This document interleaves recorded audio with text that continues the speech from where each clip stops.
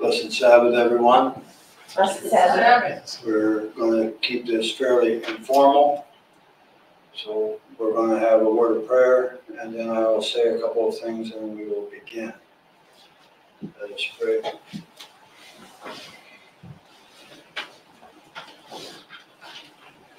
Our loving, merciful Father in heaven, we thank you so much for the blessed Sabbath that you've given to us thus far.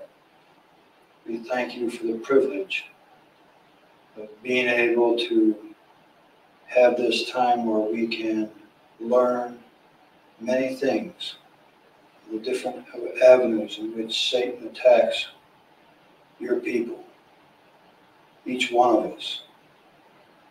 And as we continue this afternoon in these question and answer period, we just ask for your Holy Spirit by the authority of the blood of your Son that the questions asked will be of the nature that will help and edify everyone listening, and that the answers given will be exactly what needs to come from your throne. And these things, Lord, we just give you thanks and praise in Jesus' name. Amen. Amen. Again, as I had stated in the emails and text and messaging that I, that I've done, you can, for those of you who are connected with WhatsApp and my account, you can use WhatsApp, you can use, um, text messaging, uh, and then also the email. I really um, was impressed because as soon as I posted that we were going to have this, one of our lay ministers in Kenya almost immediately sent uh, basically a series of statements, questions that we're going to address first. To give you a little update, this gentleman, his post office is two hundred and fifty miles away from where he lives. He is in the bush, bush, bush. It takes him two days just to get to the post office. Oh, wow. Um, he, to, the last time I knew, he had like three churches that he services, and each of them are a day apart. So when he goes, it's a day's travel everywhere he goes. Um, it is midnight there. It's not four o'clock in the afternoon. Right. But I know he's online, and so without ado, I'm going to uh, read his email and uh, give Pastor all the time he needs in discussing the subjects that are part of his question. He makes the statement here saying, in the minis- in the ministry, many ask about the mystery of iniquity and how it is, it was woven into the miracle of life. Like, why was it allowed to ever be in existence? Most people ask this in the field. Some ask if it is morally ethical to lie to protect other people from danger, especially those in the faith. Others ask, why is God allowing some of his faithful saints to suffer so much when he can rescue them fast? And on and on, answer this for me. It will help me in the field. These are some of the things that are reality. We struggle with a lot of deep theology but these trusting individuals are serving in the basics of the gospel. And understanding even why sin exists is a very difficult thing for these young men to uh, help the ones that they are serving uh, understand thoroughly. So we'll give you the time to develop what this gentleman, what this pastor is dealing with, and how you would deal with it. Anyway, Says a few questions. you want to Yes. do the- Yes. Time? And Oh, actually, yeah, take plenty of time. and, and, and actually, it's all wrapped up in, in one thing, and that's, we find it in, um, the Spirit of Prophecy, um, uh, volume one, and we also find it in the story of redemption. But let's look at the backdrop as to how the whole thing of the mystery of sin and how it formulated itself. It's, it's, Sister White tells us we cannot explain sin. It's a mystery. It's not something that you can explain. To actually try to explain it is a sin.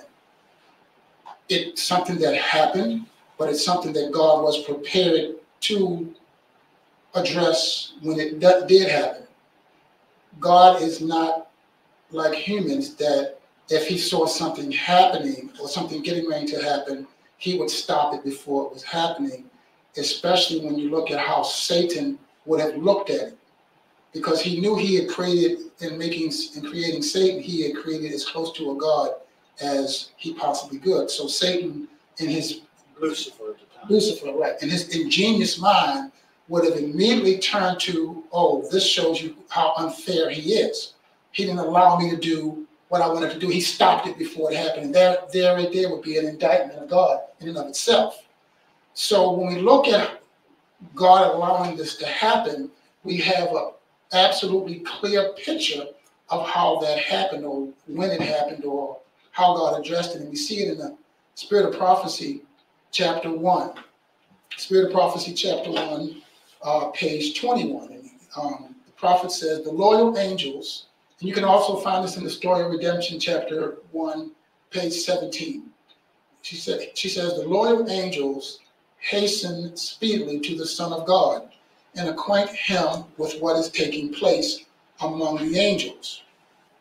They find the Father in conference with his beloved Son to determine the means by which for which for the best good of the loyal angels, for the good of the loyal angels, the assumed authority of Satan could be forever put down. So let's take that part right there first. The angels wanted God to just stop it because they came to God and he and the son were in conference, but God was dealing with what is the best way for not the evil angels, but for the good angels. Again, I'll read. They found the Father in conference with his beloved Son to determine the means by which, for the best good of the loyal angels, the assumed authority of Satan could be forever put down. His objective, right from there, says, I need to make sure that the loyal angels understand what I'm getting ready to do and why I'm doing it. If I just stopped it, there would have been no lesson. There would have been no understanding of why I do what I do. Okay, so let's go further. And here's the answer. The great God could have at once, could at once have hurled this arch deceiver from heaven, but this was not his purpose. God could have stopped this mystery immediately. But then he, he, he would have never been able to say that I gave it a chance to see if it was fair, if this idea of sin was a fair idea. If, it, if God stopped it and said it's a fair idea, it's, it's an unfair idea, they're saying, well, what are you basing it on? Make sense so far? There was no basis.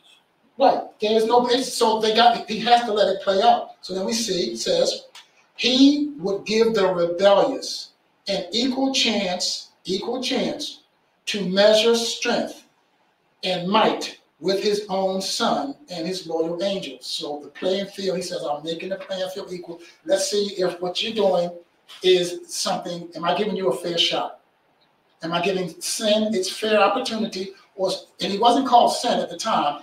Am I giving Lucifer a chance to prove his point? Because what Lucifer was, was um, revealing or trying to reveal was that God is unjust in what he's trying to do. But it was already inside of Lucifer to challenge God. It was already there now.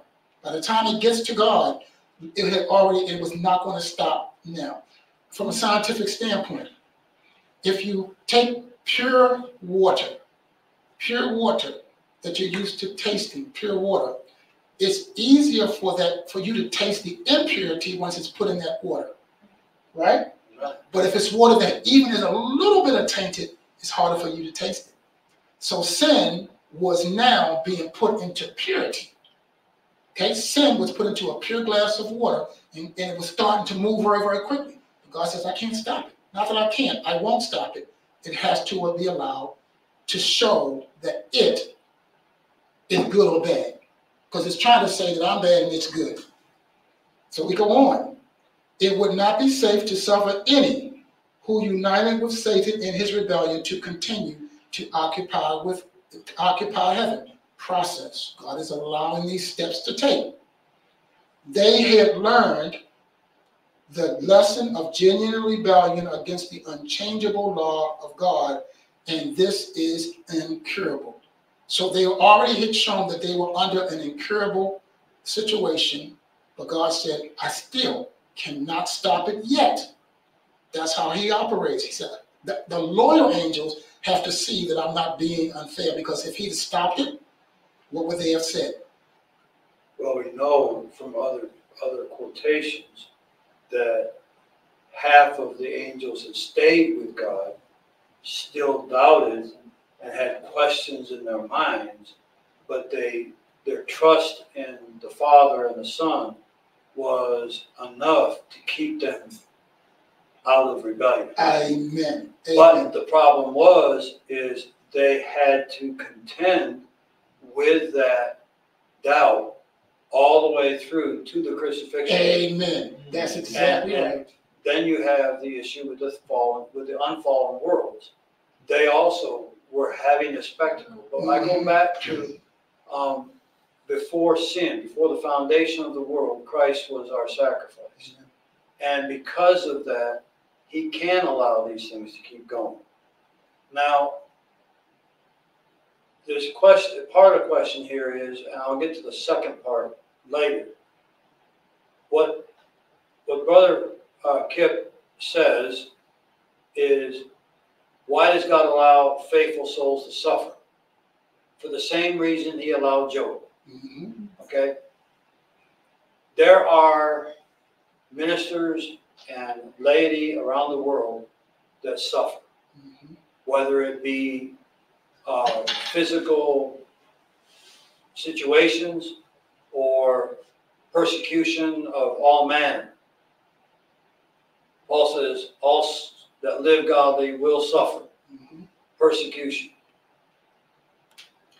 But this persecution is not unto damnation, but for the glory of God. Amen. And so it's when we question why God allows it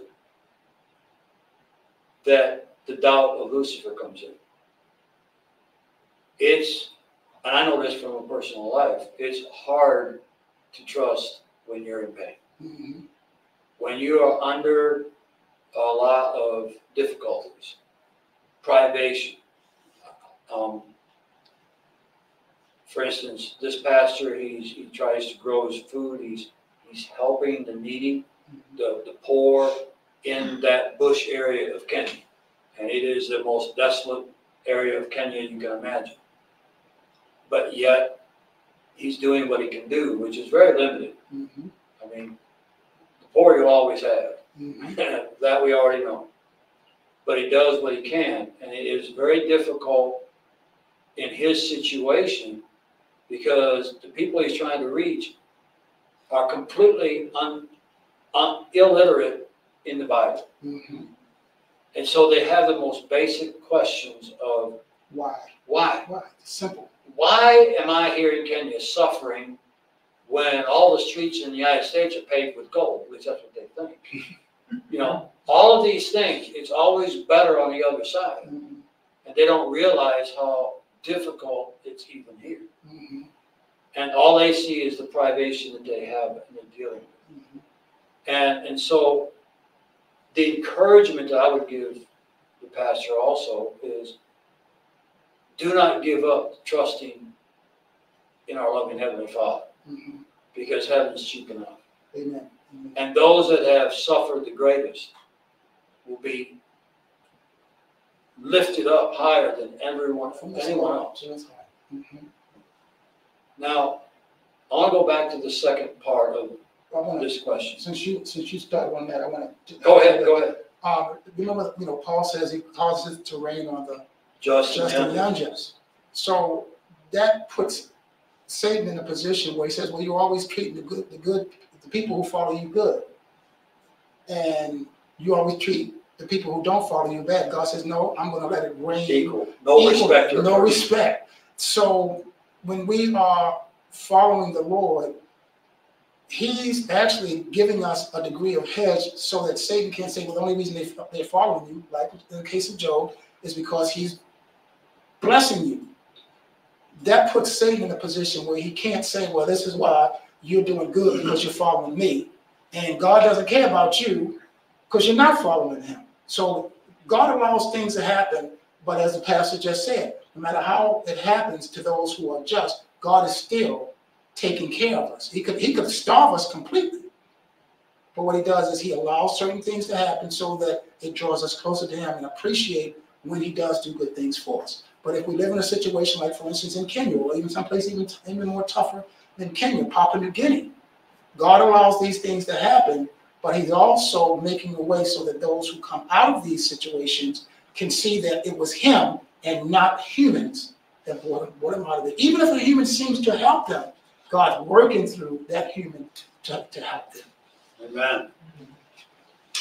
All right, this, uh, second one, I think is, Oh, let me, let me add another part to this. go ahead. In the same statement, in the spirit of prophecy, she says, if God had exercised his power to punish this chief rebel, Lucifer, disaffected angels would not have been manifested. So there were some, like you said, who weren't saying that they had a problem with God. They just were being quiet and sitting still, waiting to see who's going to win. And God doesn't play because that's sitting on the That's fence. game, that's games. Yeah, that's, they, they were sitting on the fence, but they weren't saying which side of the fence they were on. So God said, I have to let this play out. So those who are actually, because God can read every mind. So those who were acting as if they were on God's side, but really in, on the middle, on the fence, He was allowing them to show which side they were on. And then once they showed, they were, once it was manifested, hence God took another course, for He would manifest distinctly to all the heavenly hosts his justice and his judgment. So sometimes it looks like somebody's following God, Mhm. but it's not. It, it looks like someone doesn't believe in God, but they do. That's why he says he allows he allows the wheat and the tares to come up together. I saw it this week when I was pulling up weeds. They were they were taking as much of the nutrients from the strawberry plants as they could. So how did they get the nutrients? Because God made a way for both the wheat and the tares. And God does allow for that. But when the strawberries come up, the weeds, the weeds will be gone. Because I pulled them up. Amen. Go ahead. Because I could tell, I could, I could tell, because he showed me how to see. Amen. The, this question, the second part here, um, is it morally ethical to lie to protect other people from danger, especially those of faith? Um, I'm on, before I bring it to you, I'm gonna put some context here. Okay, Kenya is not a hotbed of Muslim, but because of where he is, he's in the far north areas. we were. That's where the Muslims are now starting to- to come in and, and, and, uh, deal with, um, Christianity. So, um, there's a lot of eth, eth, uh, ethnicity, wars of ethnicity in Kenya. There's a lot of things that go on. Uh, so I'll let you go first on, is it morally ethical to lie to protect other people from danger?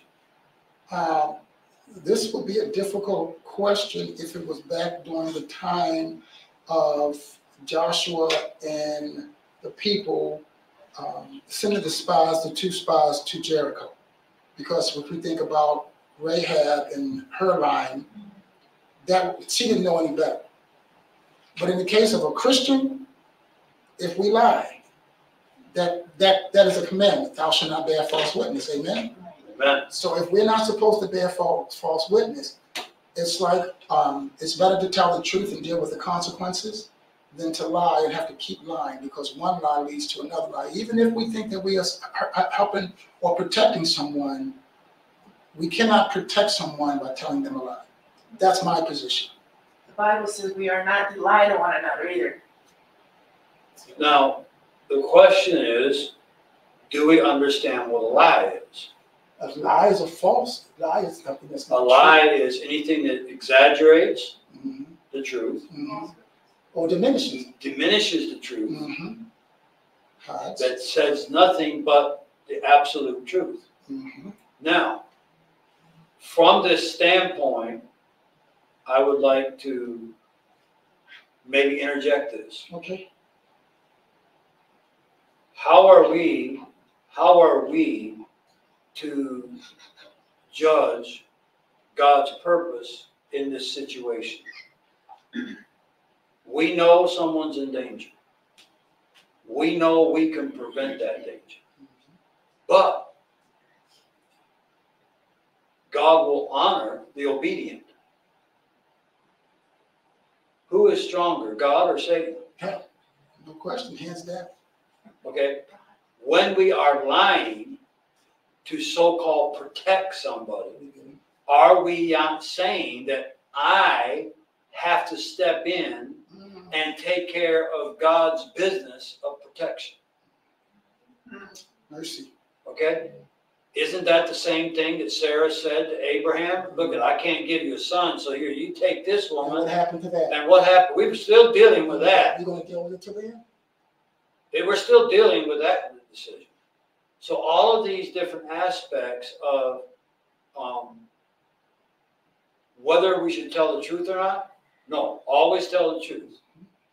But in telling the truth, make sure that our lives are right in Christ, and that we ask, Lord, with your angels that protected Elisha, protect these people to show your power is more than man. Amen. And then leave it, leave the rest with God. Mhm. Uh, Glennis, you had a question, I thought. Yeah, we also had, when you mentioned Abraham, we also had a case where he told his wife to say that, although she was technically his sister, but she was his wife. And to lie to say that she's his wife to protect him. So that's an example of a situation like that, and it was not well with God. No, and, Um. and, and Abraham suffered twice because of that. Mhm. Uh, he didn't learn the first time, so he had to do it a second time. And see, and all this that he did in not trusting in God, this is the reason he had to have to deal with the test, Mhm. the final test Right. of saying, okay, Abraham, do you really trust me? Because if you don't trust me here, you can't be the lineage of Christ. Mhm. And so you're going to sacrifice the very seed of Christ from your womb, from your wife's womb. Mhm. And so the test of the sacrifice of Isaac was made because of all of the other failures in his life. He had to come to a point of trusting no matter what. okay? That's the same thing it is with us. We cannot look in the past and say, I failed here, I failed here, I failed here. Know this. You're going to come to a time when you're going to have to trust no matter what and leave it with God. Otherwise, you are not going to be ready when probation closes. That's right. Two things. Go ahead. Remember, Sister White says, "Are the people of God so sound to the truth that they will not believe the evidences of their senses?" So, in other words, no matter what you see, hear, I said it already in the sermon. And so, no matter what it is, you have to say, "I trust God's word." You can't even trust yourself. Or any eye, any, anything you see, That's right. Okay. especially in the in the days now of AI. Oh yeah, that's a I that's mean, a whole different story now. We You- you go on that. That's out I of mean, control. you're on, you're on, online with your videos, I'm on with mine. technology now has it where They can take. they can take our preaching, Mhm. our video of preaching, take our body out, take all the words out, and make that video say something completely different That's right. than any of us or any actions that we would make, and put us in any situation, and you would not be able to tell that it wasn't us. And, and it's almost impossible to defend yourself. No, you can't defend it. Right. It's, it's impossible. Mhm. And, and, and I have seen, uh, political satire used Mhm, with yes. AI, Mhm. and literally, you cannot tell, Entertainment. yes, Mhm. entertainment is, is wild now with it. They don't even need so many actors. Exactly, exactly. John, you'd be surprised, you're gonna have a new John Wayne movie come up. Right? That's what's coming. Because they've got the video, all they gotta do is Just just tell the face. computer to, to Change do a new movie with, you know, Mhm. it doesn't matter. Right. All of these things Satan's gonna be using. These are the deceptions of the last days. We are gonna have to know each other's character, Mhm. all right? To say, no, Pastor Burns will never do that, Mhm. and that was not Pastor Burns. Even though your eyes say it's Pastor Burns, I know it wasn't Pastor Burns. And that's what the, objective will be, to change your position, thus, thus changing your perspective. That's number one. Now, the next, the next one is number two. How do we as a church get into the circumstance or in the situation where we're split on the issue of the King of the North? Because when Uriah Smith did his sermon on the King of the North, James White heard it, and because he knew that the church still had debt, it had Barrington, it had um um oh goodness, the college up in um Battle Creek College, and it had other debt that was hanging over its, head, and people had committed to the debt. But when they heard Uriah Smith in 1877, 1870, 1877 preaching about the Russian-Turkish war, he said that well, everybody thought that this was it. This was that, that war that was going to draw everyone into it, thus taking us to Revelation 16. And so in the crowd, people said to, to James White, people who had already de- dedicated was promised money to the cause, they said to James White, they said, you're too late, James White, too late for your all your objectives. So in other words, James White heard this. I have the document from Willie White. James White felt that if these people do this, we won't be able to pay off our debt, and we're going to be in trouble when we get into the time of time of trouble because people are going to come after us and take away our facilities. So James White runs up to the stage after Uriah Smith and, and gives a counter to what Uriah Smith had preached, even though he didn't believe it. But he thought that what was going on was bordering on fanaticism. That's why Sister White sent him a letter. She chastised him and she said that God would have taken care of it if you'd have just let, they had never shown division. If they'd have never, if they'd have never shown division, they they had never before then, the leadership was always on the same page. Even if they didn't agree, they agreed behind closed doors. Disagree. I mean, excuse me, Becky, they never disagreed, but that was the first time they disagreed. And it was a public disagreement, and James White brought into the church division. He didn't believe it, because even um, Willie White said he sent, he asked his father, do you really believe that what Uriah Smith is saying is not true? He said, I was trying to stop fanaticism. He never said that he didn't believe it. He was, so there you have it. He thought that by telling people what he, what, what he, he needed to tell them, that would stop the, the people from not giving the money. But what did it do? It caused a division in the church that we are still dealing with today, just like Abraham. Yes, and the fact of the matter is, the only article that has uh, James White's signature on, or Mm-hmm. credit to him, it is written in a style that James White never Froom's wrote. document, Froom's document. It, it's That's right. more of a Froom document It's- than it is a James uh, White. James White document, and that's all I'm gonna say. about. Exactly. So we have to be so very careful not to, as you say, add to or take from the truth. We don't do that. We tell the truth. And if James White didn't have the truth, if he couldn't substantiate his position, it was incumbent upon him to say nothing. But if we embellish the truth to make it sound the way we want, it's still, it's still alive. Before we, just hold off, uh, before we go any farther.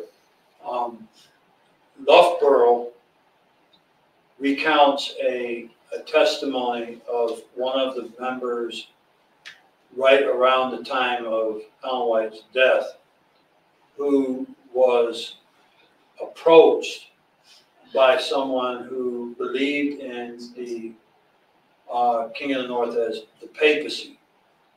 And Ellen White told the individual Oh, yes. not to print it, Exactly. that it would cause division, that it was not the truth, Mhm. and that he should never present it in public. This um, letter that was written by Ellen White was never brought to public view whatsoever. Loughborough, who was at the time with Ellen White, um, had the privilege of being able to know and see the letter and understand what was being on, and he recounts it very vividly. But that is the only um, actual uh, documentation that we have that Ellen White specifically talked about the King of the North and its and it, the reality of it being Turkey. Exactly. But the fact of the matter is, is Ellen White didn't need to. We know right now with all the documentation that we have between the two of us, that at least seven of the pioneers of first, second, and third generation God ordained pioneers, and some that weren't even accepting righteousness by faith, all understood prophecy in Daniel 11 correctly. Exactly. One of the other things is I want to challenge anybody who thinks James White um, went along with the King North as the papacy. I want to ask you one question. I'll do it publicly here. You can email me, Facebook, I don't care what it is. You, you, you can message me. Uh, the, my email will be on the screen. This is a fact, and I will give you the original document in PDF. James White, as the editor of the review, put in an article by one of the brethren showing that the seven last plagues are all literal plagues. There is no one today, no one in the general conference or self-supporting work that teaches the papacy is the king of the north, that also teaches the literal seven last plagues. Not a single one, They gotta go hand in hand. all right? In 1919, when the papacy was entered in as the king of the north, they fixed their problem about the papacy as the king of the north because at that conference, they were still ardently believing that you could also believe that all seven last plagues were literal. But between 1919 and 1940, they fixed that and went to a spiritual sixth plague. Mhm. This is church history that a lot of people don't want to hear because then they have to admit that they're wrong. And then they're going to be lost because of pride. Not because of doctrine, because of pride. Mhm. Pride is what's going to kill everybody because you will not admit that you're wrong. That's what's going to kill eternally Seventh day Adventists is pride. And, and that's what, and that's what happens when you tell a lie and you don't say, I'm, I, I lied, I, I made a mistake, I should not have said that. That's right. Forgive me. Right. That's what, And that's all it comes down to. And, exactly. Mhm. All right. Um, we have a couple more here in the in sanctuary, but we're going to stop uh, and go to someone online. We've got several online already. I just So, have a comment. okay, go ahead. when you brought up about the AI, it came to me that maybe you should make CDs again to cover your tail It because doesn't matter. I record everything. I have, I have everything that I've ever done recorded. I have them stored. There is nothing that has been done in this sanctuary that's not recorded. I don't publish it all, but it is video recorded. And so if, if someone wants to manipulate using AI, that's their problem. Have Okay. Yeah, I've got all the originals of it. That's why I keep all the originals of all the reviews, all of the Signs, every, all of it. I got all the originals. Over sixteen thousand PDFs of all the different Pioneer originals. And you can say whatever you want. I can show you down to the thousandths of a percent an expansion where it's the original article. Um, because when I do, I, I can do photo editing, done it for now thirty years. And I can show you how I can use two resolutions that are not compatible and make them look compatible, Mm, all right? But I also can identify when it's been done. mm. Okay? All right, um, this one here is from Florida. Is Isaiah twenty-eight eighteen, let's open our Bibles to that. Look at this one. Isaiah twenty-eight 18.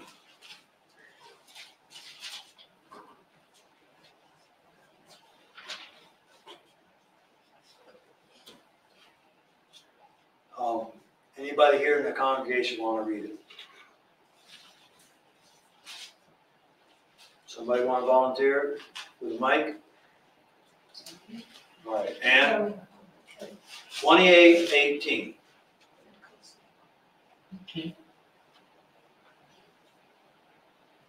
And your covenant with death shall be disannulled, and your agreement with hell shall not stand. When the overflowing scourge shall pass through, then you shall be trodden down by it. All right, you've been cutting out so bad, I don't think anybody heard it. Um, go ahead, Pastor. And your covenant with death shall be disannulled, and your agreement with hell shall not stand. When the overflowing scourge shall pass through, then ye shall be trodden down by it. So what's the question? The question is, saying that when one disregards God's law, he has made a conscious decision or covenant with death. So the question is what? Is Isaiah twenty-eight eighteen saying that when one disregards God's laws, Mhm. he has made a conscious decision or covenant with death? Well, look at verse fifteen. Look at verse fifteen. Look at verse fifteen. What does verse fifteen say? Yes. What does verse fifteen say? Because we have made a covenant with death. So I would say the answer is yes. Yeah, right. And, and, and this is not a sleep death, okay? No, Let's, this is let's, The this death is the second This is the death, second death. Mhm. okay? Um, we need to make sure we understand this is not the sleeping death, this is a, a eternal death. Mhm. Yes, when we are consciously disregarding the, um, the heavenly sanctuary, for instance, which is where our high priest is right now, this very day, um, we are making a covenant with death. Okay, we cannot disregard our high priest's work for our behalf and live eternal life. It's just, the two are not compatible. And so, yes, when we are disregarding the laws of God, His revealed word, yes, we are making a covenant with death. And remember, he operates, as we discussed this morning, God speaks to us through our nerves. And so when the Holy Spirit is trying to communicate with us and we reject it, what is that called? Grieving the Holy Spirit. Yes. So he's trying to communicate with us, but when we push back or disregard the work that he's doing through the Holy Spirit in us, that, uh, that also is grieving the Holy Spirit. It's disannulling because our conscience is what talks to us. And our conscience is communicated to through the Holy Spirit. And again, um, for a reference point, uh, online with our, uh, videos to four steps and rejecting the Holy Spirit, most everybody is on one of those four steps. So let's understand and know that if we are in any form of disobedience, we are on one of those steps of disregarding and grieving the Holy Spirit to the final step Mhm, of total abandonment. mhm. And none of us want to be at that step. And here's the other thing. I did this, I, I spoke this uh, several weeks ago now. That was the road that Saul was on. That's right. You remember, the, to obey is better than sacrifice, That's right. right? And so the prophet Samuel is telling Saul, you're on this road. And if you're not careful, Saul, you're going to be on the road to idolatry, stubbornness, and witchcraft. But he's, which he went on, but Samuel was telling him early on. Right. But he just kept going down that road. Mm-hmm. And the whole thing was, if you are disobedient, it's no different than making yourself the king of your throne. Because this is God's, this is the temple, and this is where God is supposed to be, the front lobe. Mm-hmm. So when we place ourselves where God is, we make ourselves our idol. And as a result, we open the door for what? Witchcraft, Satan to come in. That's a delusion. So we have to be very careful that when God is trying to communicate to us, do we say, Well, I know better than you, God? Because when I say I know better than you, God, God says, Okay, I'm going to throw a couple of stumbling blocks in front of you. But if the stumbling blocks don't work, sooner or later I'm going to turn you turn you over to your own delusions and that's that. Now, on that uh, subject of, of the mind, um, before I get to this question here, mental issues. Mhm. Um, a lot of times when, in, in counseling that I've done, people who are suffering depression, Mhm. who is, are suffering a lot of different aspects of, of um, what modern medicine calls psychosis, Mhm. um, almost without failure is some form of unforgiveness. And what, what, well, how can you, how can you reach and how can you help someone who feels like there's no hope from this, that standpoint of, I can't get out of this rut of how I feel. So I have to have this drug. And I'll give you an example, personal example. I was talking, this was almost 30 years ago now. I was talking with a friend and they said, I'm standing here in my house. I, if the house was on fire, I would just stand here and laugh at it and die. Because I don't care. She, the person, she was on Prozac, okay?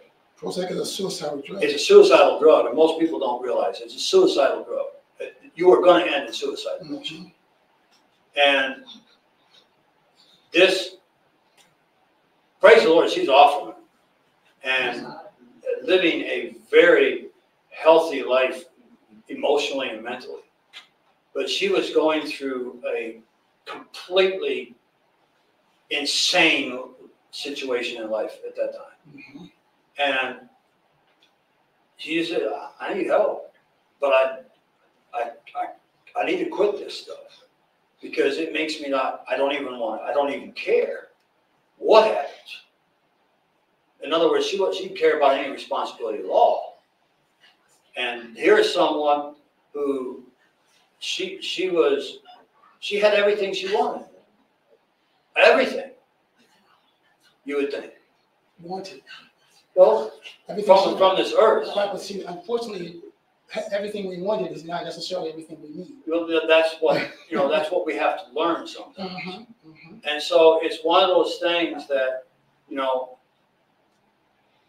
I, I talk to this person about once every month, just to check in with, with them. And, you know, she has her grandchildren around her all the time now. She, she's living the life, but trusting God for the first time in her life. Mhm. And, and so it's one of those things that it's a difficult rut to be in. And what, what would you say with someone trying to help somebody in that situation? Given with this, the spiritual warfare that's going on, the demonic forces that are trying to control the minds of Seventh day Adventists. Mhm. because there are so many people who are they're afraid. They're afraid because who, are, who am i going to trust? Who am i going to listen to? Who am i going to every sabbath put my trust in getting spiritual food Mhm. and and they're scared and this question doves into the next one here so i just Um, James White in eighteen seventy-seven was dealing with depression of spirits. Yes. Okay. Part of it was because, you just said it, he couldn't forgive himself of how he had treated Ellen White.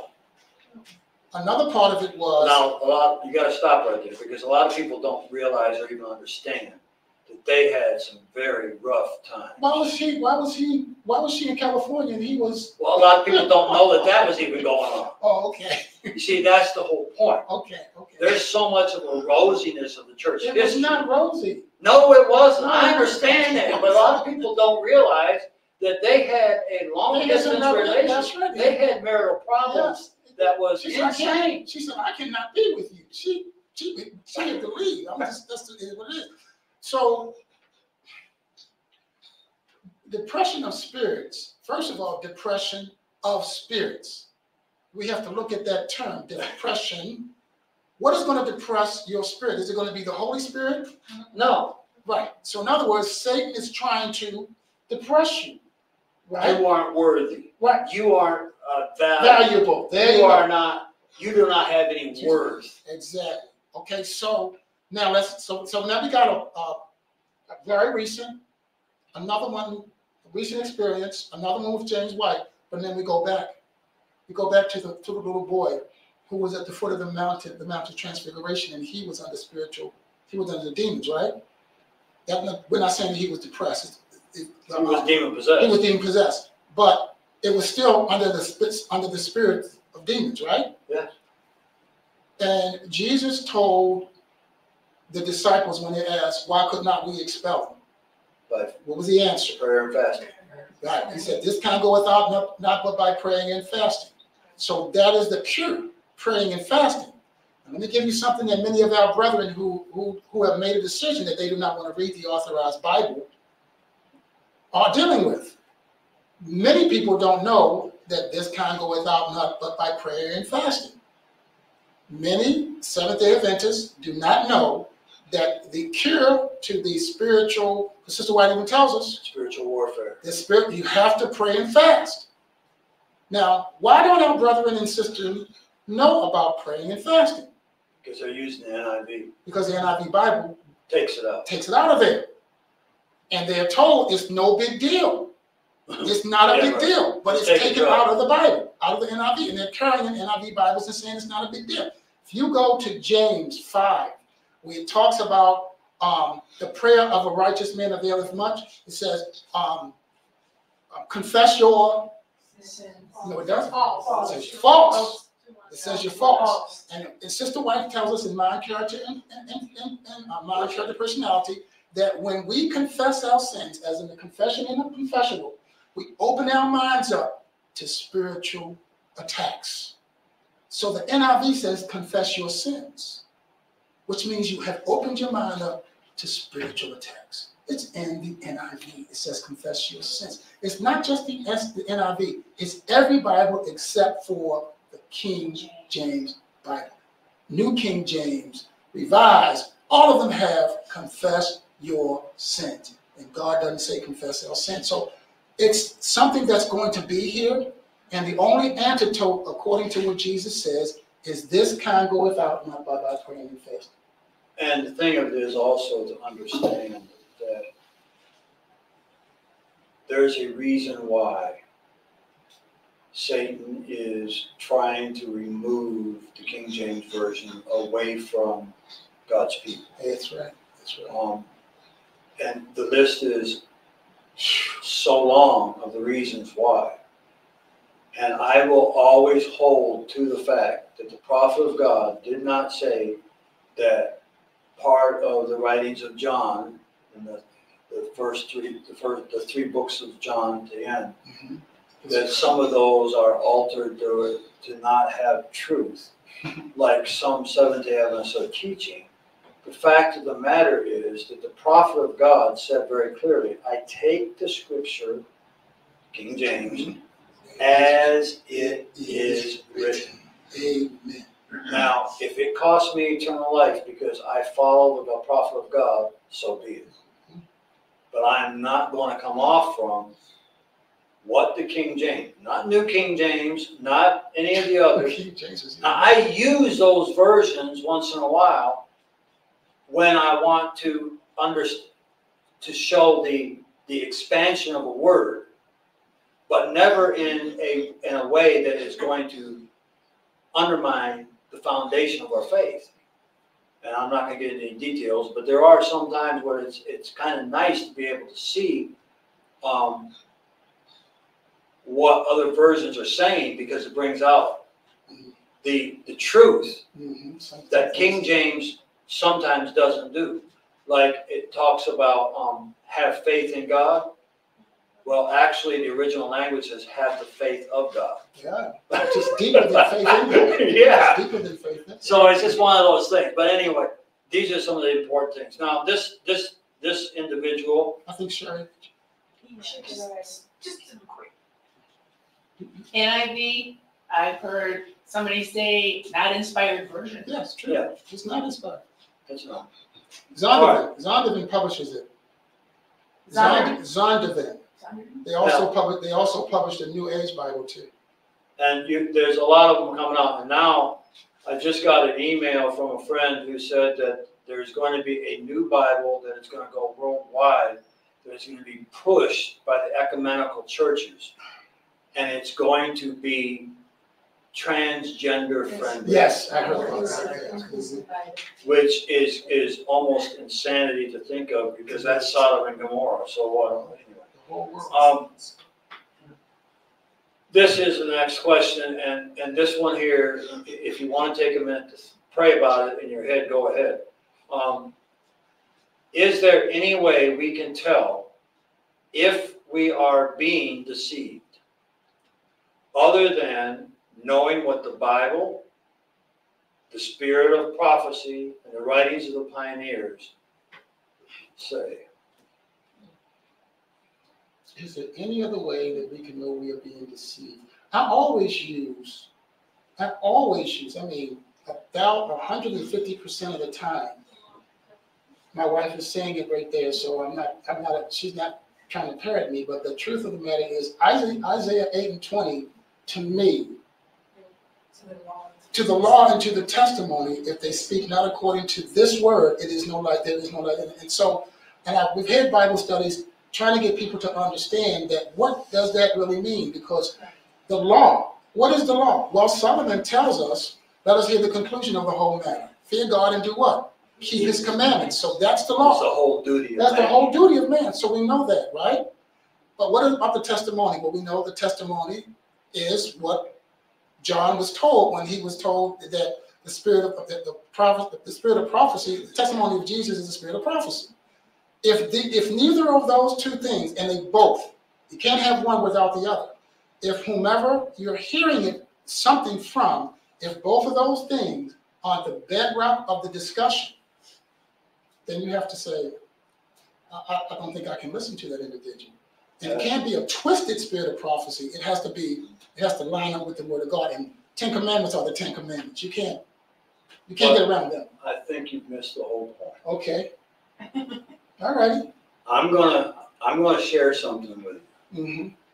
because it's in my list of the weeks that I have. So I've been dealing with this Mhm. and studying, working on it.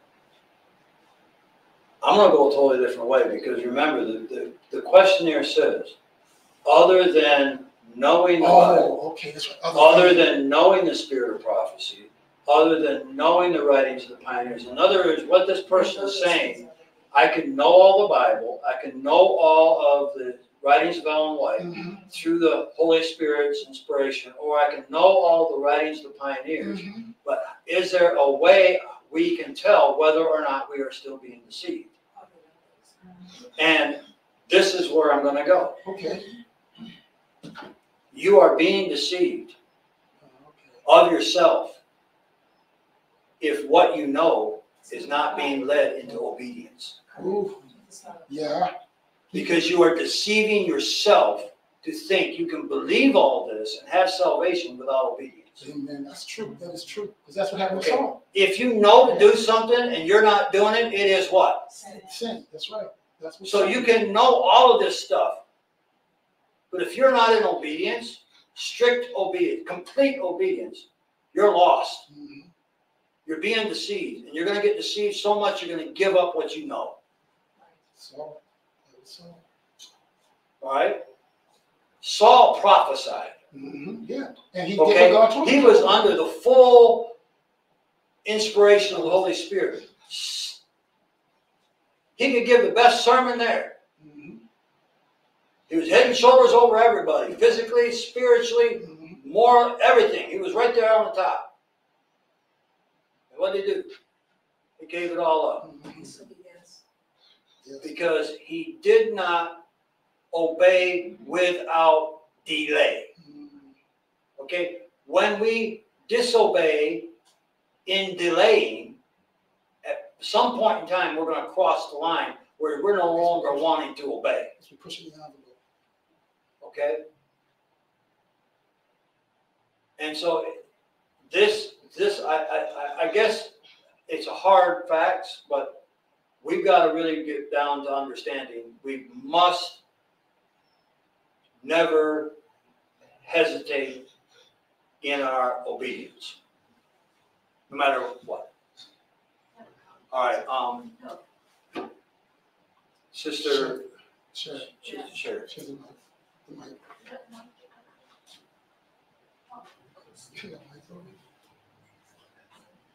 Okay, um, to the response that Pastor Mills just said about obedience. Faith comes with obedience. And even with Saul, it starts with faith. He didn't have faith, because if he had the faith, he would not been disobedient. But going back to, to the law of the testimony, you have to know the truth to detect a lie. Mm-hmm. Sure. Counterfeit. So you be you will know if you are being deceived if you know the truth, right? Someone's trying to. Or if you can discern good from evil. And that only comes from knowing the word of God. But if it's not applied in the life, it doesn't matter how much you know. 'cause Well, that's it's what I in- said, In the obedience. head, that's why you have to have knowing and obedience together. Okay, but and that's true, I agree. That's why I said the whole duty of man is what? Keeping the commandments of God. and fear. Isn't that obedience? Yes. By Amen. keeping the law? Mhm. But if you don't keep the law, and then you will not be, um, you will not keep be keeping the truth. I guess you want to You say, won't be or obedient. be acting out the truth because you won't be obedient to the law. If that's all, if the Ten Commandments is supposed to be the standard by which we are judged, and it's supposed to be what we should be living by, and if you know those Ten Commandments and you don't keep them, then you are disobedient. Or you figure out a way to skirt it. Yeah, see, that's, that's, that's where I was gonna go. You can, mm-hmm. you can think, because the Pharisees thought, Yeah. all right, Prime example. we're gonna give you, we're gonna give you thirteen hundred laws that encompass the ten that God gave us. And as long as you take care of the thirteen hundred, which includes eight hundred for the Sabbath, you're gonna keep the law of God and you'll be perfect. And so the Pharisees made it very clear that they were gonna, they were going to be perfect in their doing. Mhm. But that is not keeping the commandments of God. Mhm. The commandments of God can only be kept when Christ is in us. And there's a lot of people who know what the truth is. They know what God has asked. And I'll give you one example. Get out of the cities. 120 years, God has been saying, get out of the cities. Yes, I know some of us, it took us a while longer than others. And, you know, I'm a prime example. I knew God wanted my wife and I to get married. Before she did, I knew, okay? But, and I asked that we have our marriage in West Tennessee. That's where we're gonna keep up housekeeping. And my wife said, yes, that's what we'll do. But then God said no. And he said no by every step we took. He slammed the door on our feet, literally. every application. My wife had an impeccable resume. She could have been hired anywhere. But every single time, it was slammed in her face.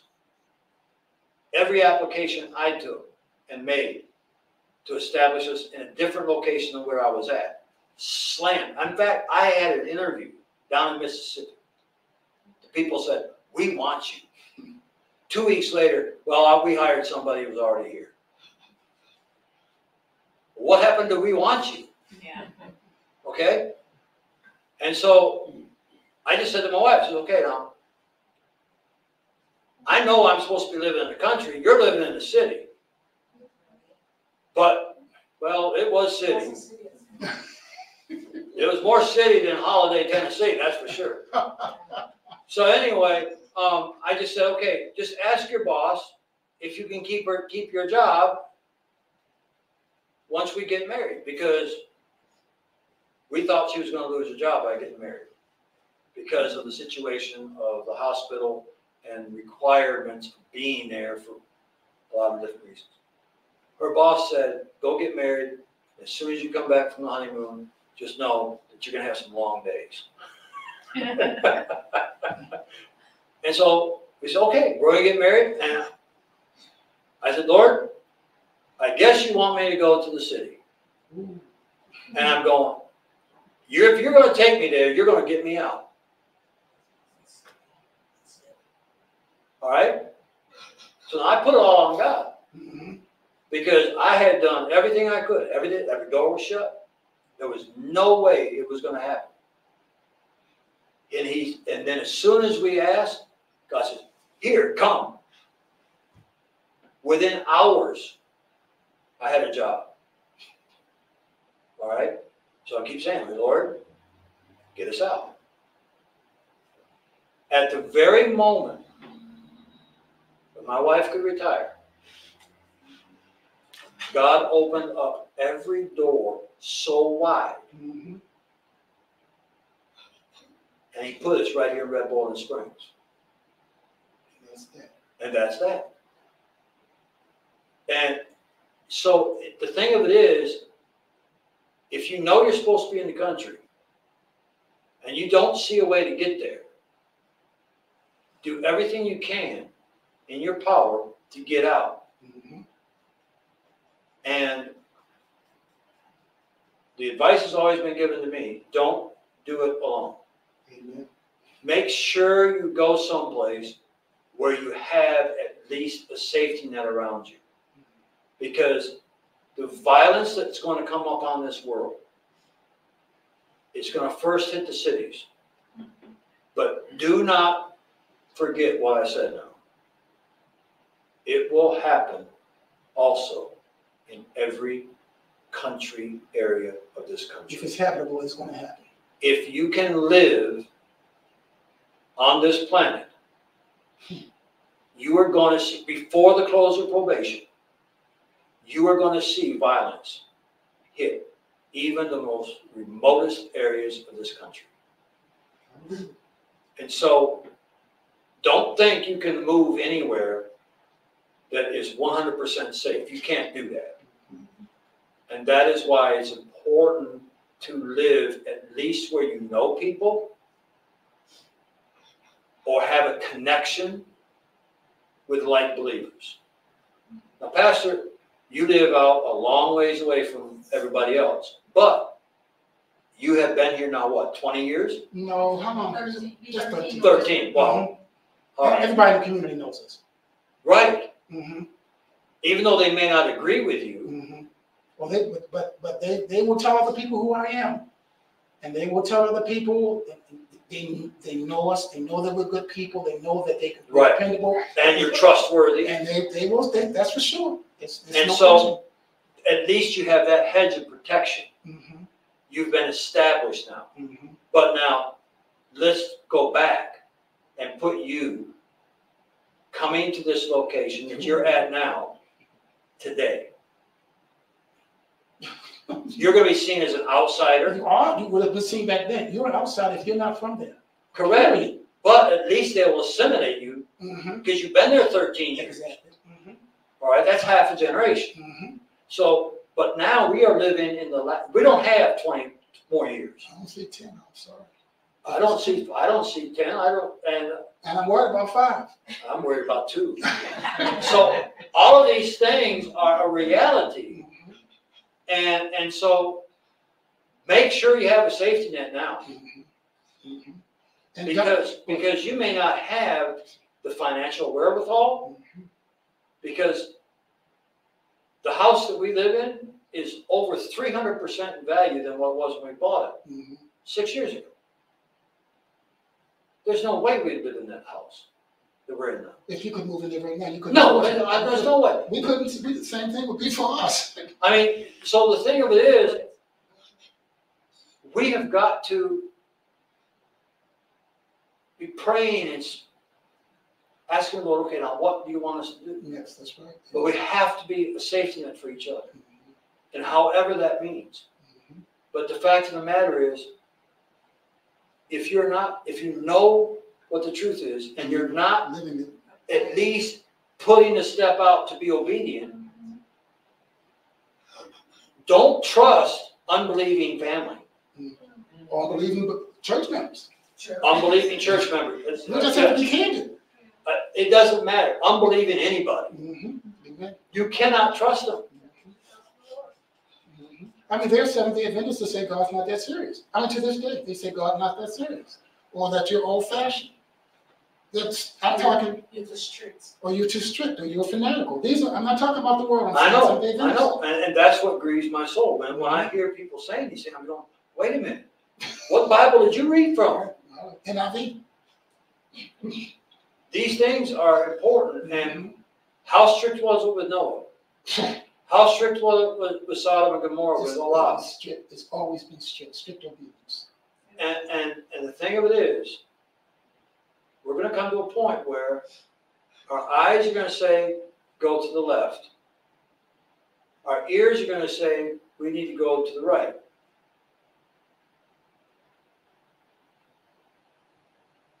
The eyes can say, if I take one more step forward, I'm gonna step off into a chasm. Where do you go? You gotta go with what God says. That's correct.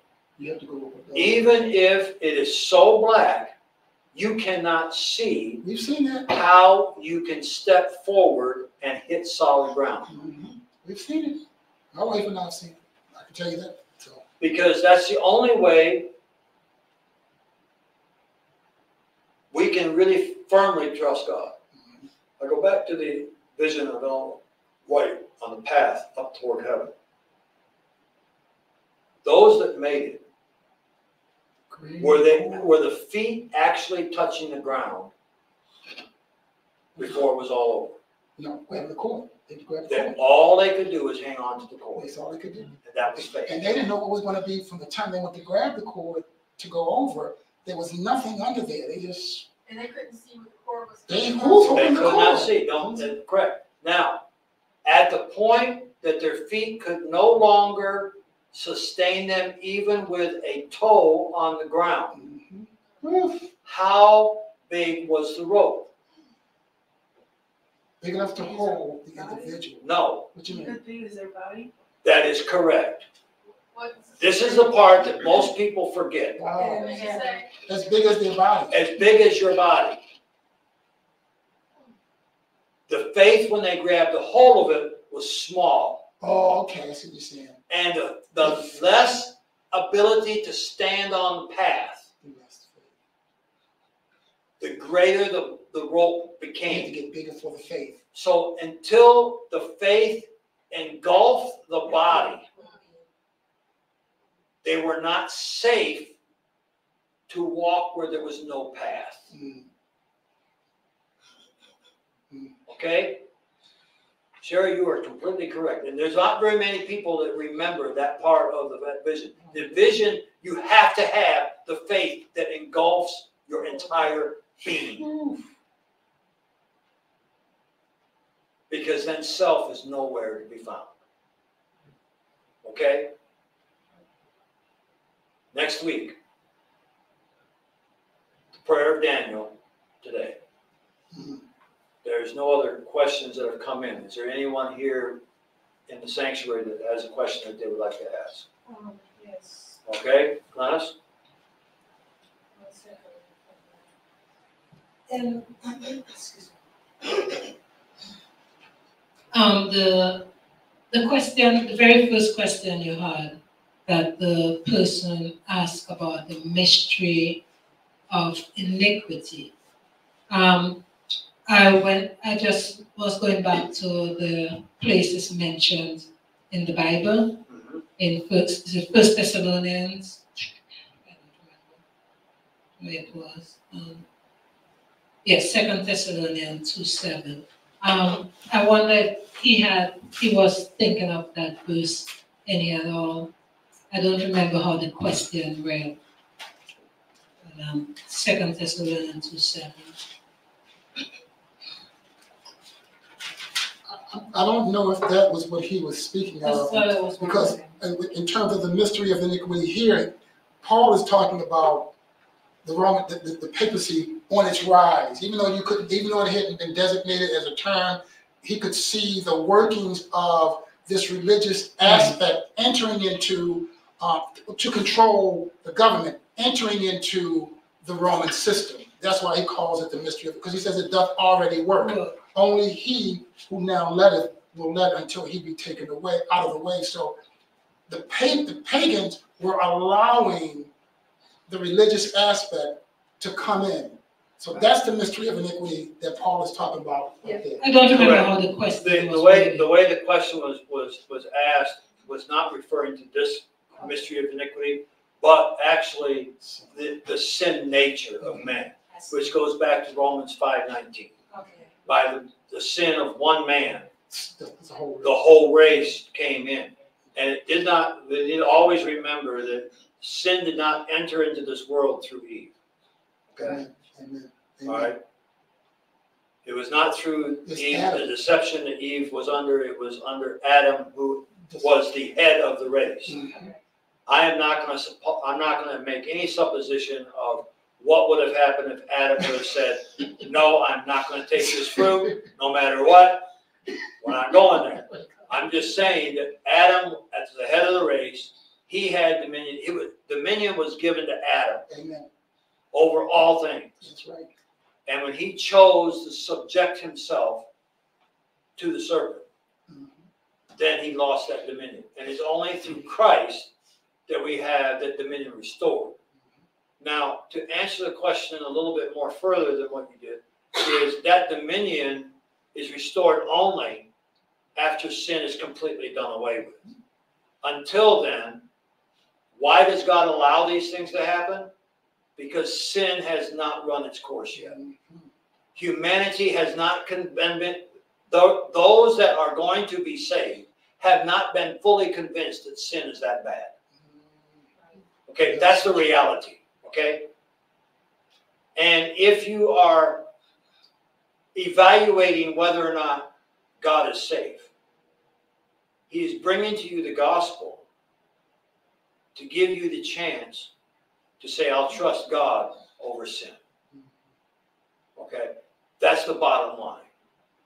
And until we as individuals, whether we are in the United States, South America, Africa, or any other place on this, on this sin cursed world, we've got to make the choice that we choose God over sin in everything. And yes, it's hard because sin looks really good on the outside. All right? There is not a whole lot of joy in this world left. All right? Um, the only joy, at least personally, in my life, is the God fearing woman that my, my God gave me. Amen. Amen. the joy in seeing how he teaches her how he sustains us.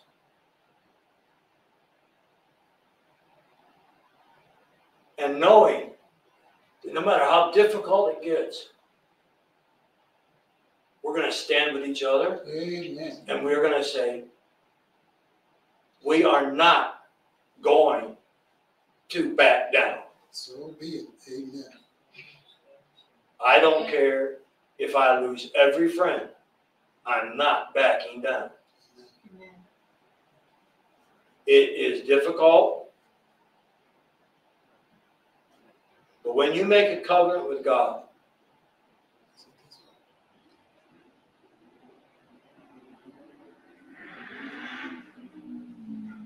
don't get me wrong here when I say what I'm going to say. I studied the life of Ellen White more than 30 years ago. And I took a hard look at her first conversion experience while she was being called of God to be a prophet. Does anybody know what Ellen White asked God to do? Was take it from her? No. No. Okay, sweetheart, I'm not gonna say the words exactly, but the paraphrase is that anytime she, anytime she feels like she's puffed up. puffed up, so to speak, to make her sick. Uh, that pretty much, that's what I remember. amen. She was so afraid of pride Mhm. that she said, Lord, if pride is ever in my life, make me sick. When I read that, I studied every time Ellen White was sick.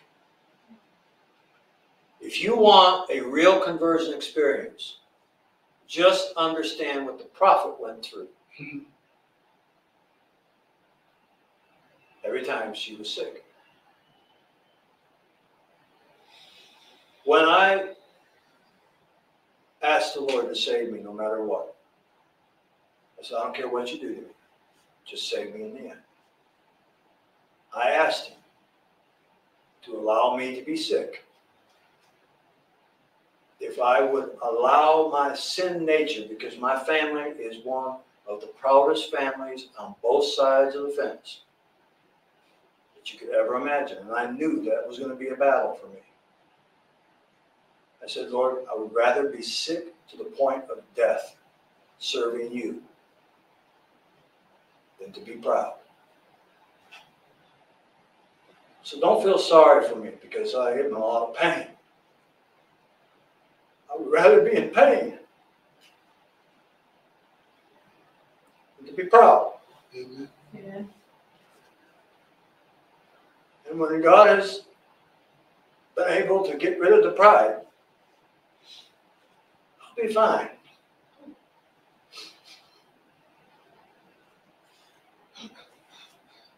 How do we know we're not deceived? When we're willing to obey, and everybody says, you don't have to. Amen. Amen.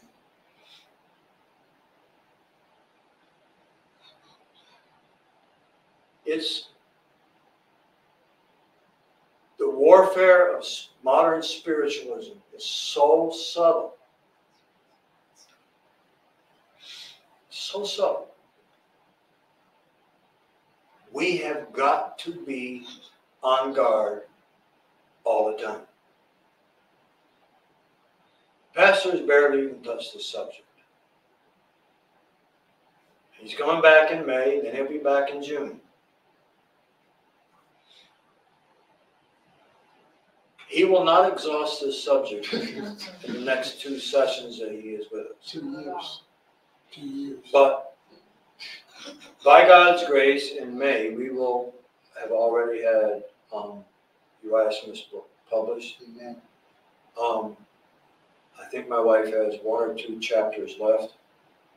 And she'll be done with the proofreading, and then I can do the final editing.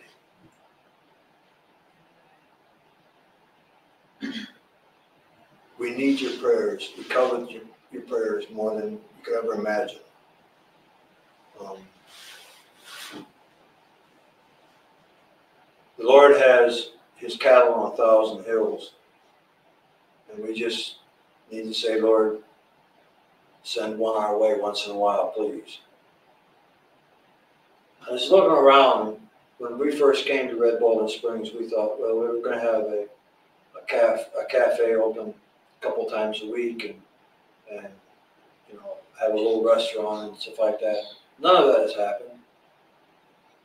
Um, we are publishing, and we're publishing as best as we can. But it's hard when you only have a couple that are able to do it. Um, we need help. Uh, I need a complete revamping of my online presence, the church's online presence.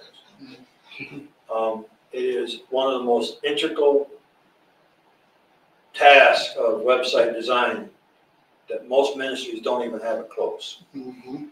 True. And, um, and so it, it takes a lot of work. All of these things are important. But we can make all this stuff available, but if you are not studying and obeying what you already have, everything else that's, that's up there, out there, or whatever, it's just gonna be a curse. Be obedient to what you know. Trust God, He will enlarge your knowledge. There are things that I'm doing with my wife that I had never done before I got here. And my wife, she was, how did you know that? I said, I don't know. I just did what the Lord put in my head to do. And, and that's why, how we live.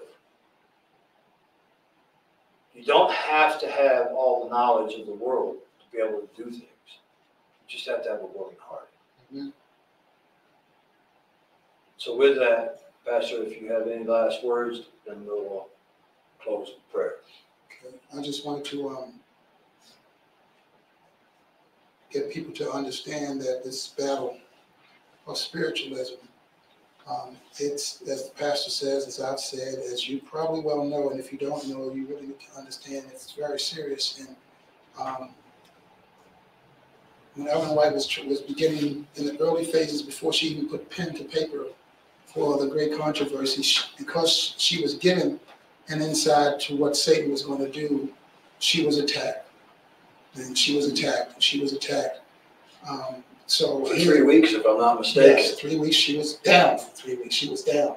She, it took a while for her to be able to write. She picked up the pen and she did not have any healing whatsoever until she started writing.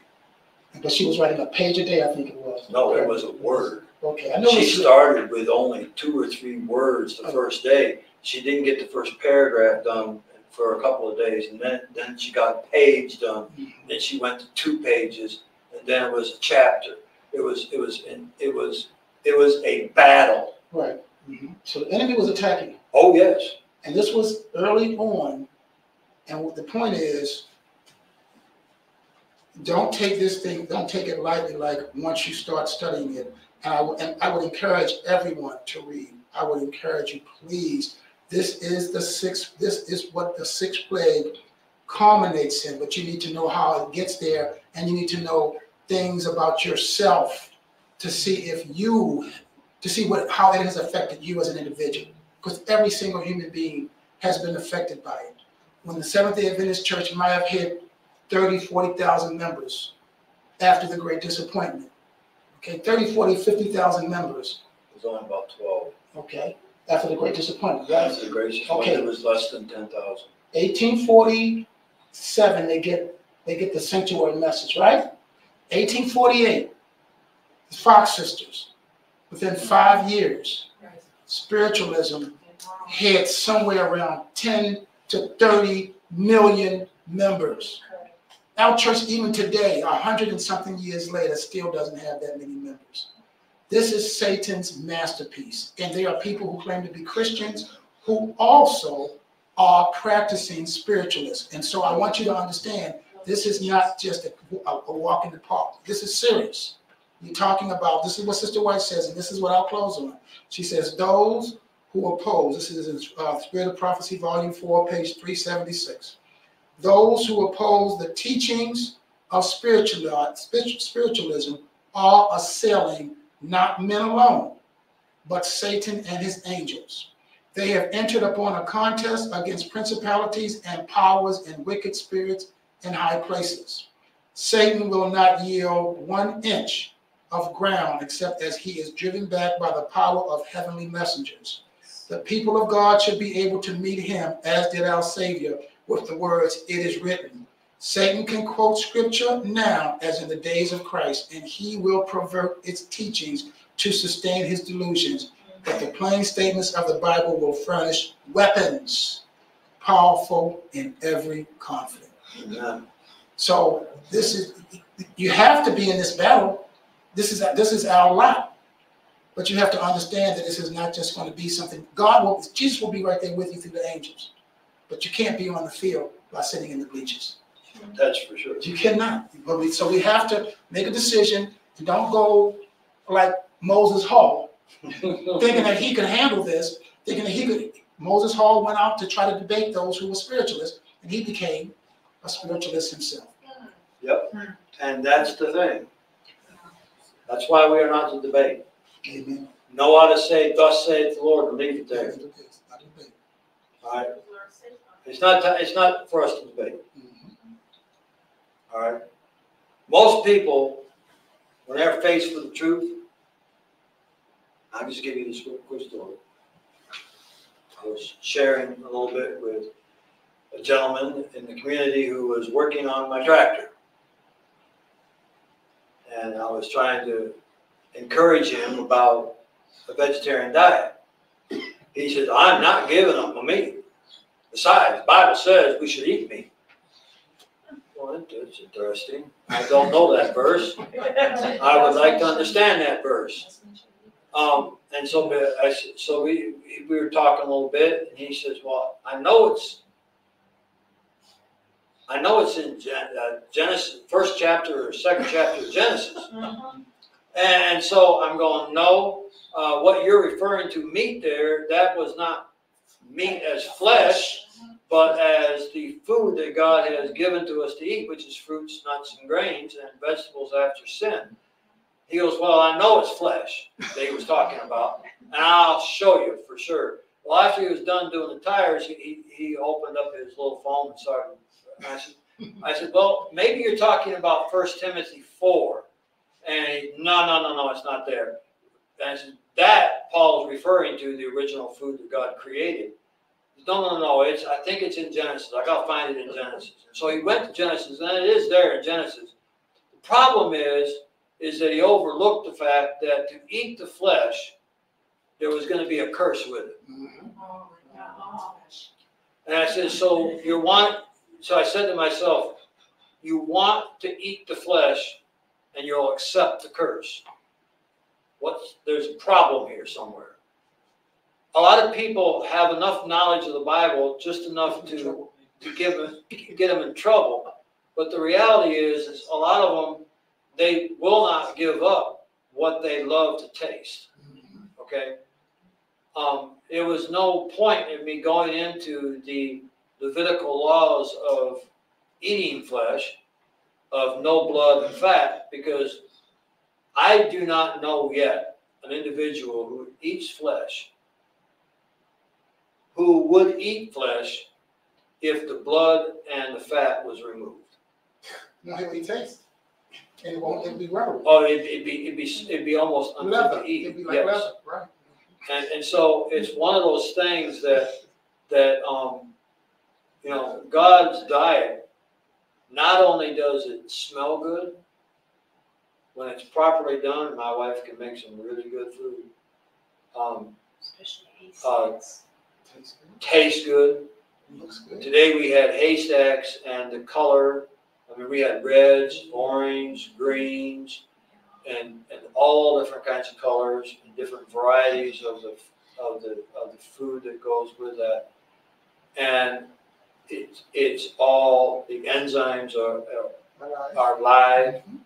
The protein of the, of the beans is in there and all of these things that God has given to us. And you don't have the sluggishness of, of, a, of eating that way. Where you eat a large steak dinner, for instance, and it's gonna sit there and really It won't leave, it won't leave for a week. yeah, that's right. A lot of people don't realize you eat the steak and your body is still dealing with it a week later. Uh, I, I'm sorry, I just don't, don't, I don't, I don't want that. Um, anyway, God is good. He has designed our bodies wonderfully. He's told us very clearly that when we are willing to eat a diet that God has given to us, it will help our minds to be clear. We won't be clouded, We won't be fuzzy. We'll be able to understand things better. It's another reason why the fasting is important because that keeps your mind fresher. So all of these things are important. And again, we just thank everyone that has been online with us. And um, I, I wish we would have had more questions, but we've been going for an hour and a half anyway, so that's good. God is good and God is faithful. Keep my brother pastor in, uh, in, in, in, in more prayer than you do for me. Okay? Um, he is under a lot of strain that is causing a lot of physical problems too. Um, and that's why he wasn't here in December. Uh, his immune system is compromised just like mine is. I don't know why God uses people like you. Because he has to keep us humble. Yeah, keep us humble, I guess. That's the thorn in the side. Yeah, and that's, that's the only thing I can say. Uh, so let's just, just keep each other in prayer. Amen. And if the Lord impresses you to call Pastor Burns, call him on the phone and just say, I'm praying for you. Can I have a word of prayer with you? I, I know he wouldn't mind. Amen. We all need the prayers of God's people. Let's lift up also the younger generation who God is trying to reach. I keep praying that the Lord will send me someone about 25 or 30 that will be able to take up and have the energy to do the things that needs to be done.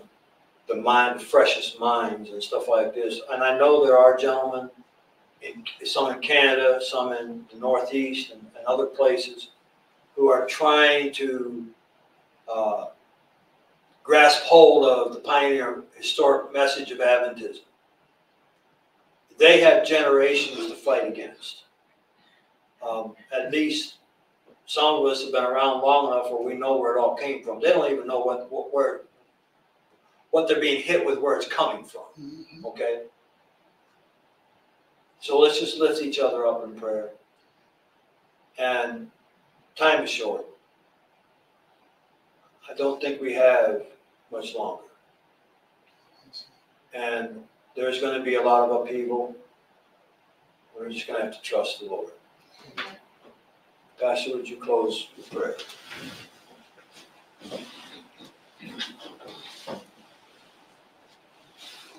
Father in heaven, again, we thank you for the Sabbath day, for the blessings that you have bestowed upon us, not just on the Sabbath, but for our lives itself.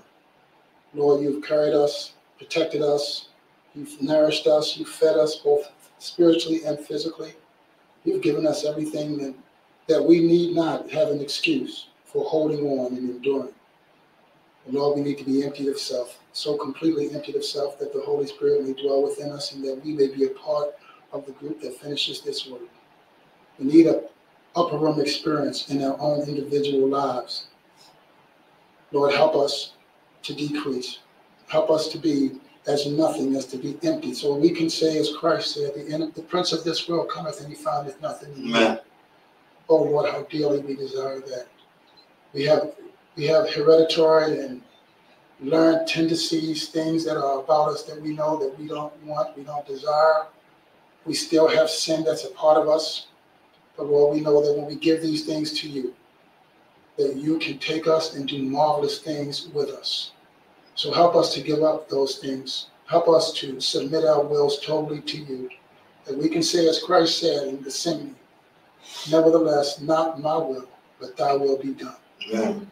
We pray, Father, for the church family here at His Vine. We pray for the leadership, Pastor and Sister Mills, for the members and their online members as well. We thank you, Father, for allowing us to create this relationship, Father, to be kindred spirits and to work towards the finishing of the message. Lord, there's so much to do, but we know that with you, all things are possible. So help us, Father. Help us to understand our work. Help us to understand what you would have us to do. Help us to not go ahead of you. Help us to not allow the attractions and the things of this world to cloud our judgment, that we will not trust, trust the evidences of our senses. Continue to be with us the rest of this Sabbath day and continue to be with us as a new week begins. To strengthen us that we may endure. And be careful to give your name praise, honor, and glory, for we ask these blessings and all others in Jesus' name and for his sake. Amen. Amen.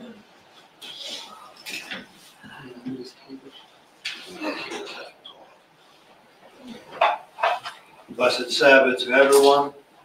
May God bless each one of us in this new week when the sun sets. Jim, be blessed.